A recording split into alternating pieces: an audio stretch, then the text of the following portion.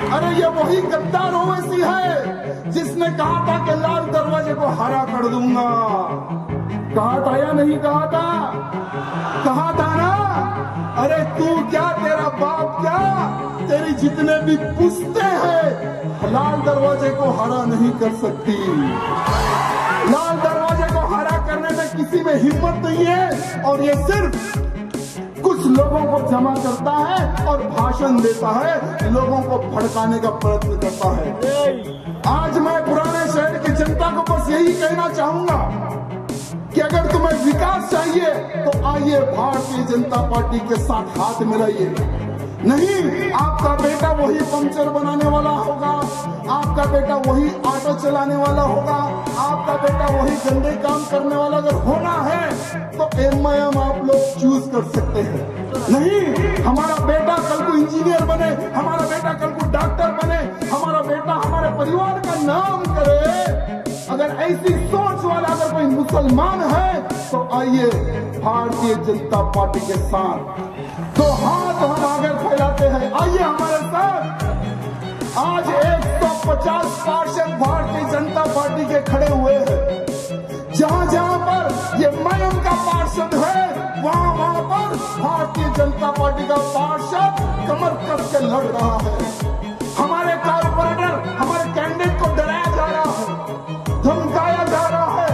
लेकिन इन गद्दारों को मैं कहना चाहूँगा, ये वो पार्टी है बेटा, डरती नहीं, दुश्मन को डराती है।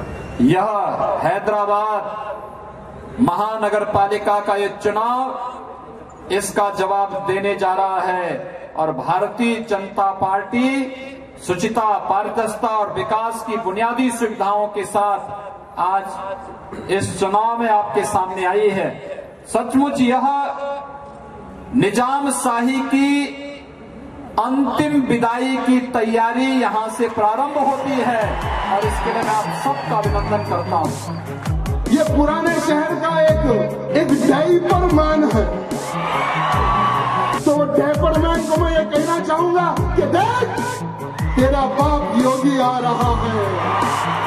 अरे जिस दिन भी अगर हमारी फिर गई तो पुराने शहर में जितने भी जो आतंकवादी कुत्ते छुपे हैं ढूंढ ढूंढ कर उनको उड़ाएँगे हम ढूंढ ढूंढ कर।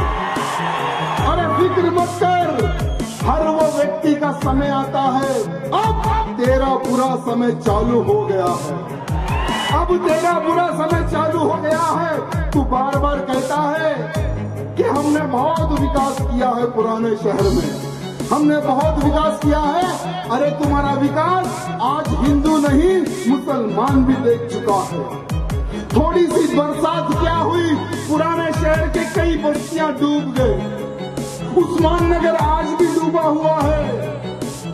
हिंदू के साथ साथ आज मुसलमान भी परेशान है।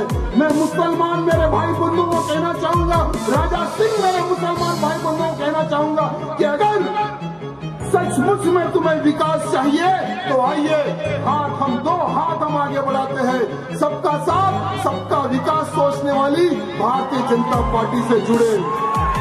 आज सोशल मीडिया के माध्यम से कई ऐसे वीडियोस आ रहे हैं कि जहाँ जहाँ पर एमआईएम का पार्षद वोट मांगने जा रहा है तो मुसलमान महिलाएँ चप्पल बता रही है। चप्पल बता के भगा रही है। क्यों?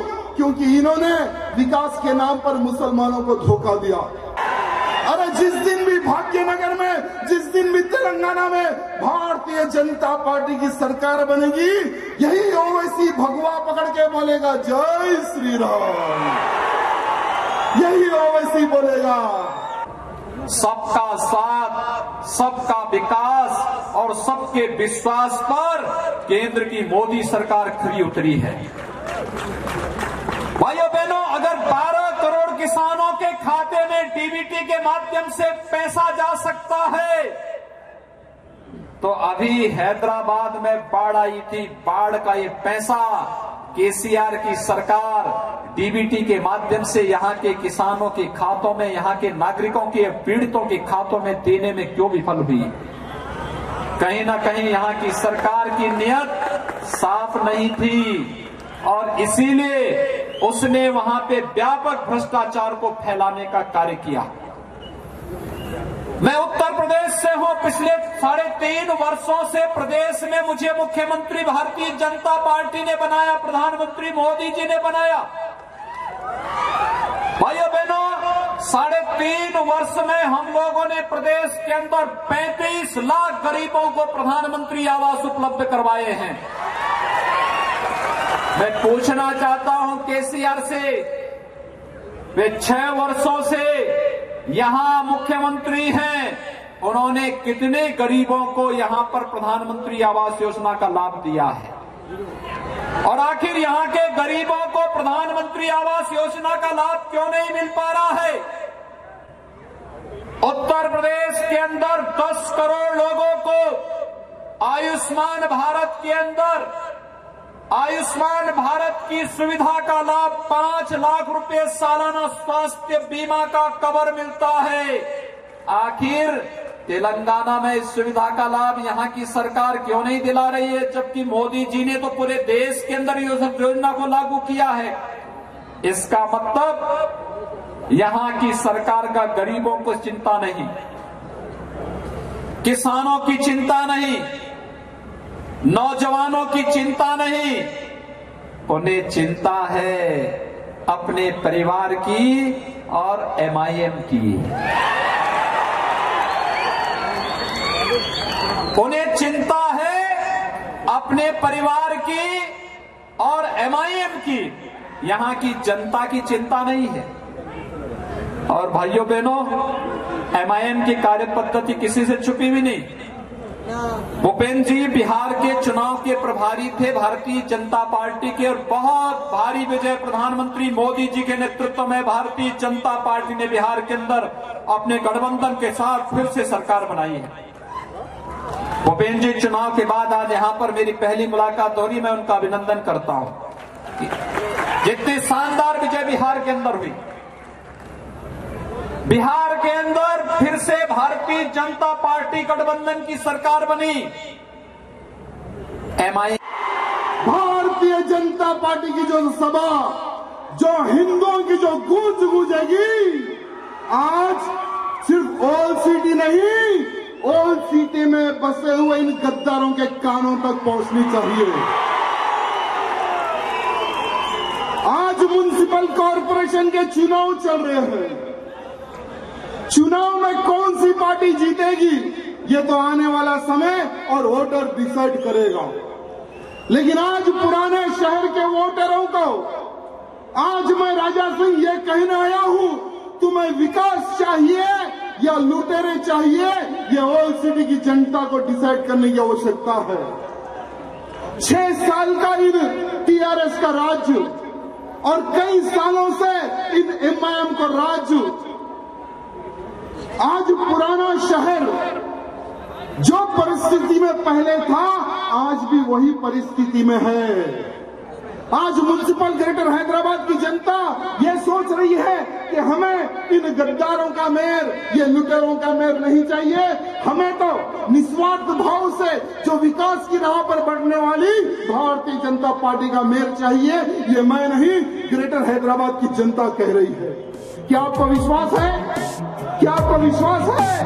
अरे आपके विश्वास में ही तो दम है और आप नहीं तो हम नहीं, आपके आशीर्वाद से तो हम यहाँ तक पहुँचे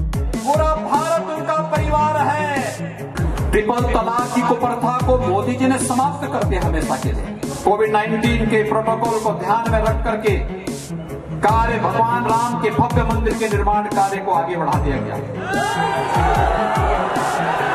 चार सौ बानवे वर्ष के इतिहास में जो कार्य कभी नहीं हो पाया, आज मोदी जी के नेतृत्व में, अयोध्या में भगवान राम के भव्य मंदिर के निर्माण का कार्य आगे बढ़ चुका है।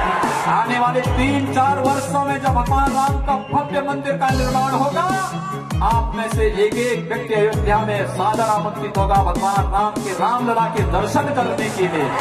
मैं यही पूछने के लिए आया हूँ, अगर 12 करोड़ किसानों के खातों में